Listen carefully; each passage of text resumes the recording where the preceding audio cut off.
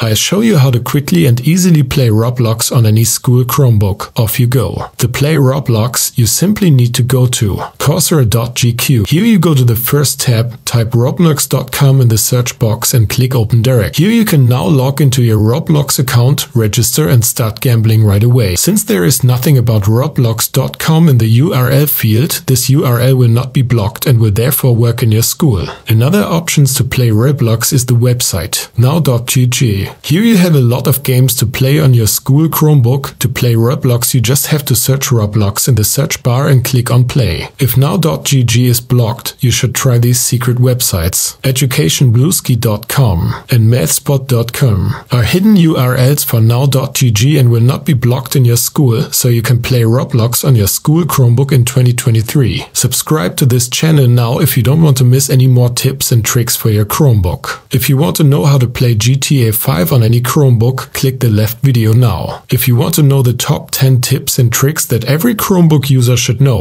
then click on the right video now and I'll say thanks for watching and bye until the next video.